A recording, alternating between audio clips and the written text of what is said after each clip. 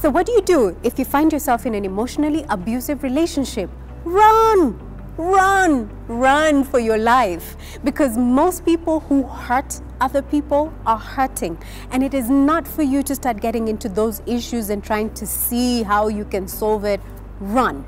However, if you are in a long-term relationship, you're married to this person, and where there was love, there was harmony, has now turned to contention, emotional abuse, maybe you need to seek counseling so that you can both find that place where you loved each other, where there's harmony and there's peace.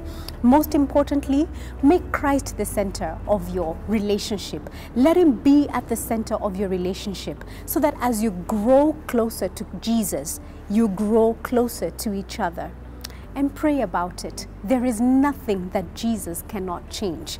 If you're in it for the long haul, be on your knees for the sake of your relationship, be on your knees for the sake of your family, and cover it with the precious blood of Jesus.